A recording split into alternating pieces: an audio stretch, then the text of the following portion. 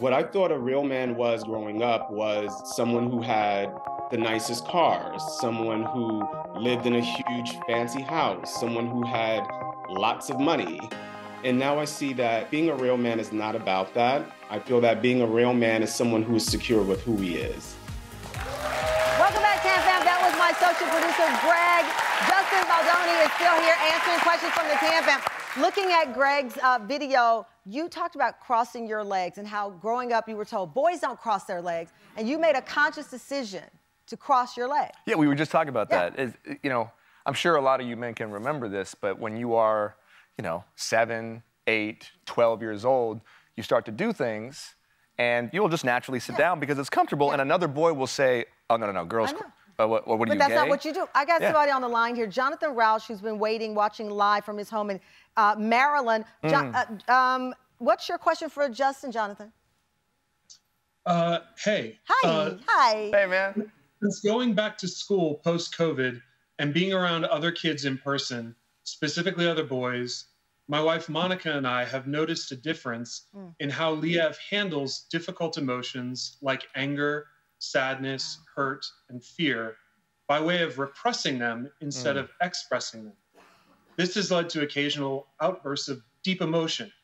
How is it that we can best support him in expressing these more challenging feelings in a healthy way? Thank you Wow. so much for that. That's a great. That's a great question. First of all, the fact that you even asked means that you are way ahead because you're thinking about it. I really think it's important. I, I, I, I think it's important. Look, vul- vulnerability is something that uh, there's so much resistance in sharing what we're feeling at that age because there's so much pressure that any pressure put on from a family is just going to cause him to go in more. It's really important that it's modeled. Um, I would say that's the biggest thing. So, as I talked about with my dad earlier, if you are having a bad day, or if you're feeling things, which inevitably you must be because you're a human being, right? Share that with him. Let him know that daddy's struggling. Let him know that, man, I have anxiety today. And then encourage it. Don't shame him for it when it comes out. Um, I think that we need to see our parents be human. So if you can tell him stories from when you were that age that were embarrassing to you or things that happened to you when you were younger, I think over time, it's not gonna happen overnight, it'll give him permission. And also just remember that all those things, that anger, that the, the sadness, um, it's all just because he doesn't feel like he's enough. So the more that you can remind him that he doesn't need to do anything to earn your love, he doesn't have to do anything to feel enough because he already is, the more he's gonna be comfortable expressing those feelings. Thank you so much for joining us. Listen, we dedicated the hour, and I, I can't believe it. There's so many more things to talk about, so much more. But guess what?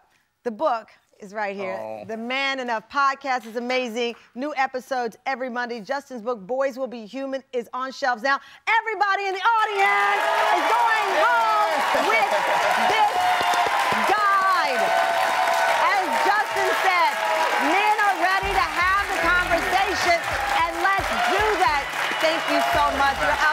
and